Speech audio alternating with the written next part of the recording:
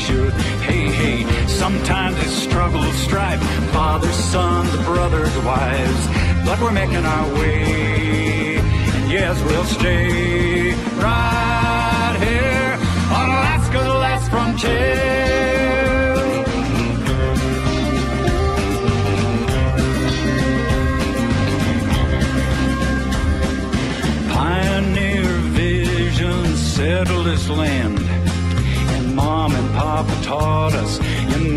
To understand.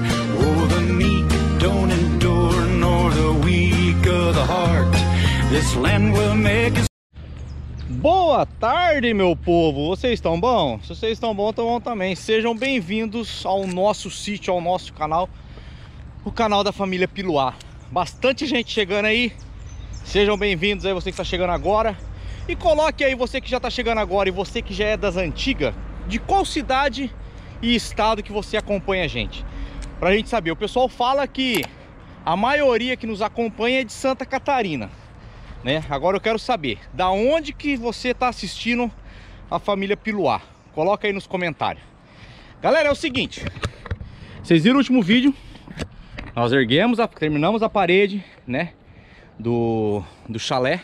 Ainda bem que eu travei, vocês lembram que eu falei no próximo vídeo que havia um temporal à noite? E realmente veio. Eu não escutei nada, porque eu, quando eu deito na cama, eu deito pra dormir, eu durmo mesmo. A mim falou que veio um temporal, uma ventania, trovão e raio à noite.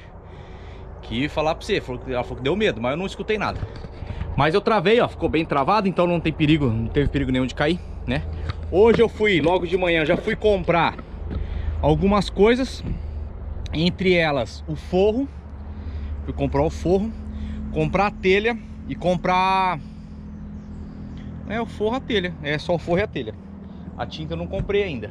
E mandei vir, e fui mandar fazer uma janela. É, eu ia colocar uma janela usada aqui, mas ficou tão bonito o chalé, falei, ah, não vou colocar usada não, vou colocar uma janela nova. Então eu aproveitei e já encomendei a janela, uma janela de madeira com vidro, então vai ficar bem bonita a janelona aqui, ó. E hoje eu ia também colocar uma porta usada aqui, mas eu falei assim, não, não vou pôr uma porta usada não, eu mesmo vou fazer uma porta e vou fazer uma porta tipo celeiro, sabe? Aquelas portas que tem um X no meio, pra ficar bem estilizado o nosso, o nosso chalé aqui. Então vou fazer uma porta dessa. Ainda bem que eu terminei ontem isso aqui, porque hoje não tem Cristo que fica aqui nesse sol, cara. Meu Deus, deve estar uns 42,5 de grau. Olha, vou falar pra você, cara. Santa Catarina tá me surpreendendo. Pensa num calorzão que tá aqui, abafado. Ave Maria. Mas é isso aí. Então vou medir a porta aqui, vou fazer essa porta. Então o vídeo de hoje praticamente vai ser a construção dessa porta. Eu vou mostrar pra vocês tudinho de passo a passo como que eu vou fazer essa porta, beleza? Então se inscreva no canal se você não é inscrito, já deixa aquele like aí pra fortalecer a gente. E vamos embora pra mais um vídeo.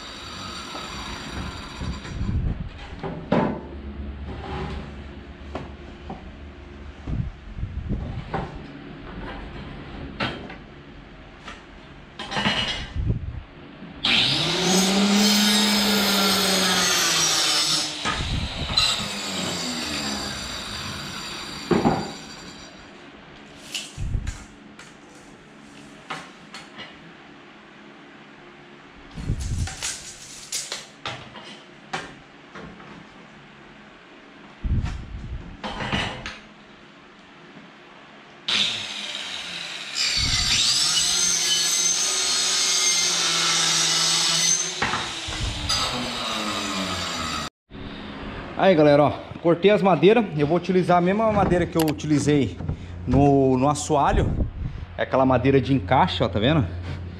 Eu vou utilizar ela, é pinos tratado. Muitas pessoas estão me questionando por que, que eu resolvi fazer o chalé de pinos e não tratado. É... Primeiro, por ser mais barato do que qualquer outro tipo de madeira tratada, né? Aqui a gente tem duas opções sem ser tratado na nossa região. Ou é o pinus ou é o eucalipto. O eucalipto é uma madeira mais dura. Pode ser um pouco mais resistente também. Só que o eucalipto ele racha muito fácil. É, se você não pegar uma madeira seca, já bem seca, ela racha bem fácil. O pinus ele já não racha tão fácil, né? É uma madeira fácil de trabalhar, uma madeira leve de trabalhar. Só que tem aquele problema de cupim. Como nós vamos, que nem a parte de baixo eu fiz de, de pinos tratado, que é esse aqui, né? O assoalho. Então esse aqui é garantia de 20 anos, que não pega cupim. Embaixo eu fiz a base de pinos normal, tá? Embaixo tá fácil para mim passar um, um veneno para cupim, um óleo queimado, né? Passar aí cada três meses, quatro meses, duas vezes por ano, um óleo queimado com mujo cupim, resolve. A parte interna é, vai ser invernizado com verniz marítimo, né? Vai ter, vai ser aquele verniz contra umidade, é o marítimo. Eu vou invernizar com o marítimo. Então o cupim já não vai pegar. E pro lado de fora nós vamos pintar com uma tinta latex. Então pode ser que tenha já mais dificuldade para o cupim pegar. Se acontecer, o que, que eu posso fazer? Passar um veneno para cupim aí cada seis meses, fazer uma detetização cada seis meses, tá? É, porque, tipo assim, eu não fiz ainda os cálculos quanto vai ficar esse chalé, mas um exemplo para vocês terem ideia. Se eu utilizando madeira normal, sem ser tratada, eu vou gastar 5. Se eu fosse utilizar a tratada, tudo com madeira tratada, eu, eu ia gastar em torno de 12 a 13 mil reais. É mais do que o dobro, tá? Então por isso que eu resolvi fazer de pinos. É o primeiro chalé, é um chalé de teste, é um protótipo. Nós estamos vendo como vai ficar, espaço interno, espaço externo é, o, o que vai utilizar, o que não vai. Então é um protótipo, tá? Tive que trocar o cartão de memória. Então vamos lá, recapitulando aqui. Então vou fazer com madeiras de encaixe. Expliquei para vocês por que eu estou utilizando pinos. Em alguns tratados, outros sem tratar. Então vamos lá. É, nossa porta ela vai ter 84 por 1,92, certo? E eu vou fazer ela estilo celeiro. O que seria porta estilo celeiro? Aquela porta que ela tem um X no meio assim, sabe? Fica um negócio bonito, um negócio rústico, que é uma madeira assim, ó. Que é assim, né? Por fora. Aí depois sai outra lá do canto lá. Fica bem bonito, fica bem, bem estilosa mesmo, né?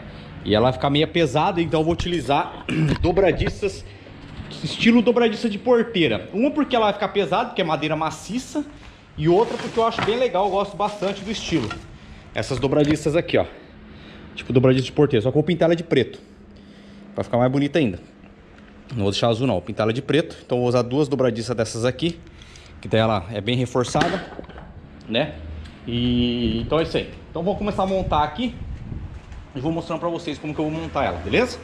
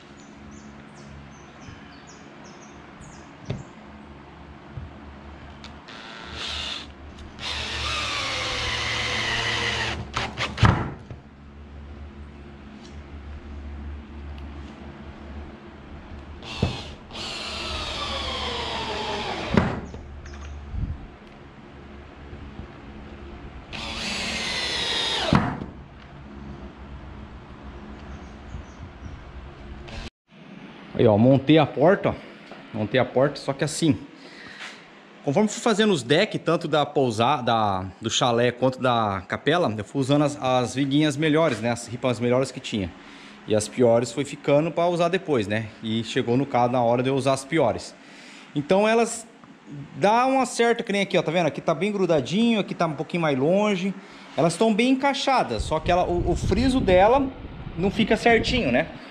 Acredito eu que, sim, esteticamente, só se reparar muito bem, né? É que como eu que tô fazendo, então eu tô reparando, né? Eu acabo reparando, mas é, eu acho que vai ficar bom. Agora eu vou colocar, vou fazer o, o esquema do, do X nela, no meio dela.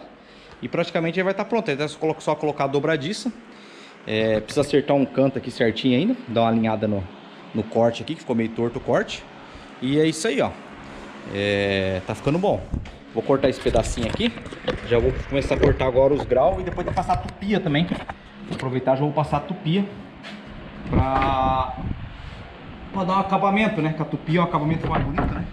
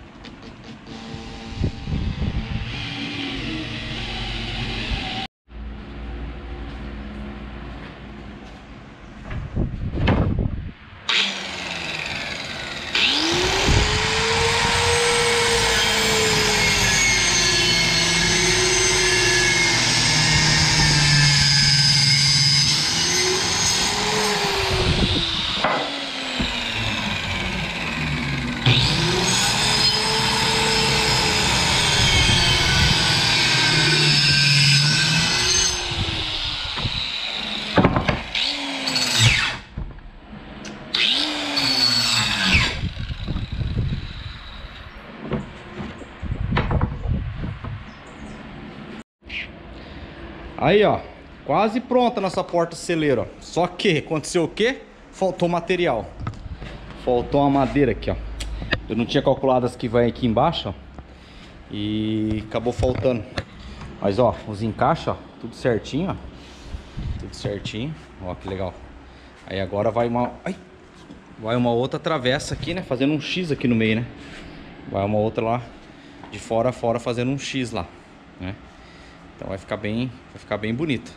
Só que eu vou fazer o seguinte, antes de eu parafusar tudo, eu vou tirar elas, vou pintar porque ela vai ser branca, esses filetes para dar uma destacada.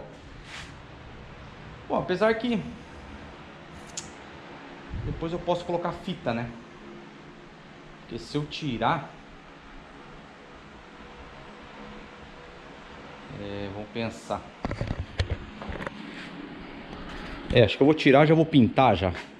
Eu já pinto, já deixo guardadinho pintado, porque aí depois depois eu, eu parafuso, eu pinto a porta e parafuso as outras já pintadas em cima, é melhor. Porque fica passando fita crepe e tal, retocando, aí não fica legal.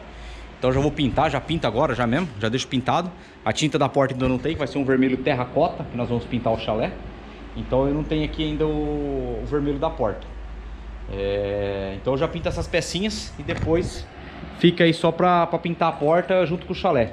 Aí a hora que eu for colocar lá no lugar, eu já pego e já e já coloco os acabamentos tudo em volta, que é esses acabamentos aqui. Ela tá, tá toda travada já mesmo. Eu só tiro e marco qual que é de qual lado, qual lado, né? Para não, não perder aqui os, os encaixes, tipo assim, um, dois, né? Um, dois, para saber qual que é qual. Beleza? Então vou fazer isso aí.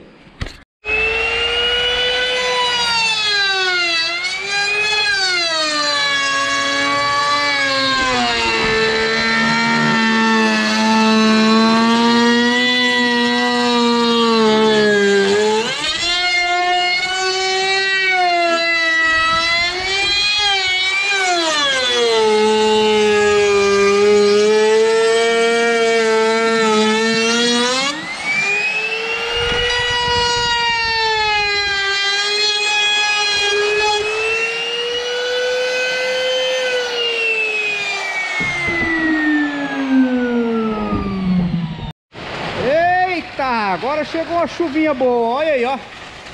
Chegou a chuva. Chuva e sol ao mesmo tempo. Aí. Bem na hora que eu acabei a porta. Agora eu tinha acabado de fazer um tempinho, né? Já varri tudo, já limpei tudo aqui, ó. Tá eu e a Luninha aqui. Vamos ver pro lado de cá como que tá. Se tá bonito. Eu gosto quando chove aqui. Meu Deus, cara. Olha lá, ó, a chuvinha. Olha que massa.